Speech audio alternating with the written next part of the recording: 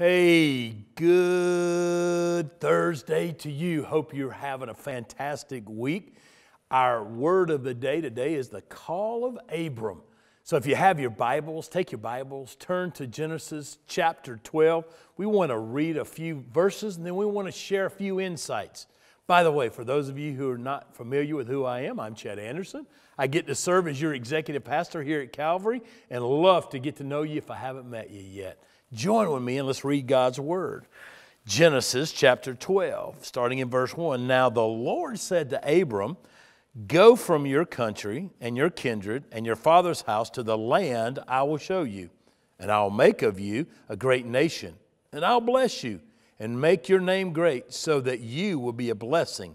I will bless those who bless you, and those who dishonor you, I'll curse and in you all of the families of the earth shall be blessed. So Abram went as the Lord had told him.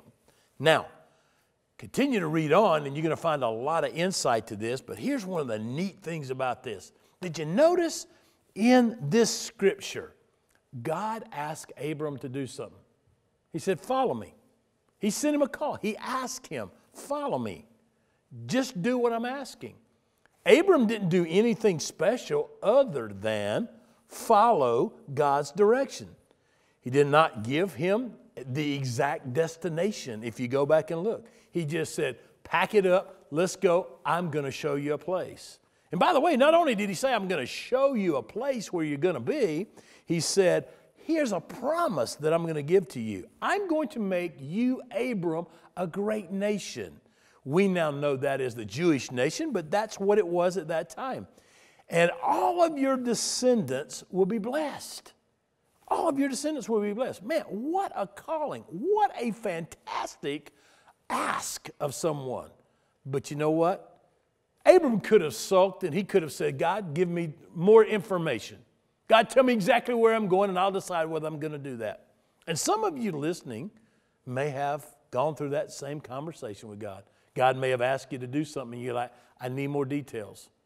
I want more details. Now, there's okay to ask for details, but when God directly asks you to do something, can I just encourage you? Just surrender and doing it because, like in this story, if anyone blessed him, God said, he would bless them.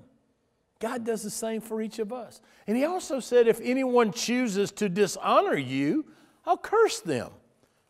But you asked, what did Abraham what did he do to get such a position, to gain such favor? You know what he did? He followed God's call by and through faith. You see in Hebrews 11 8, if you look carefully, by faith, Abraham, which is his extended name, obeyed when he was called to go out to a place that he received as an inheritance. We call it the promised land. That's what they call it. He went to Canaan land, the promised land, where the foundation, as we talked about earlier, of the Jewish nation began.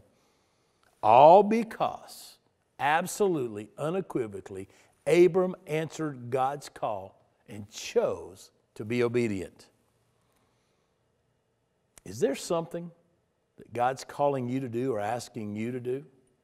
Is there an obedience area that God's asking you to follow Him in and you're being rebellious? Can I just encourage you? Be encouraged by God's words and by this call of Abram that it may go well with you. Whatever it is, I'd love to encourage you to follow with all of your heart, with all of your mind, with all of your strength. Follow what it is exactly that God's asking you to do. Don't debate Him. Don't say, I'm not going until I have all of the information.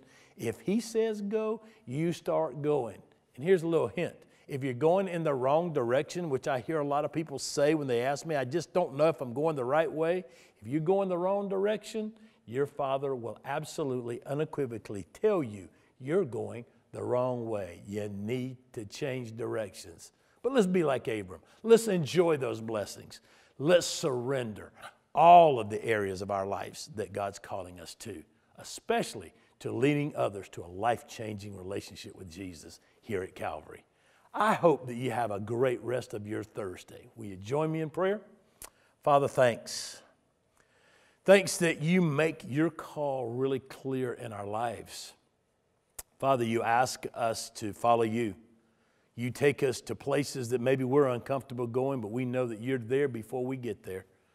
And so I'm praying for all of those who hear these words that they be encouraged and that they would trust in you by faith and through faith in your Son, Jesus Christ. Our beg, our plead is that we clearly hear your call and that we answer the call and obedient to you. God, we want to tell you that we love you and thank you for loving us so much that you gave your one and only Son for us. In Christ's holy name we pray. Amen. Go forth and have a fantastic rest of your Thursday. God bless and bye bye.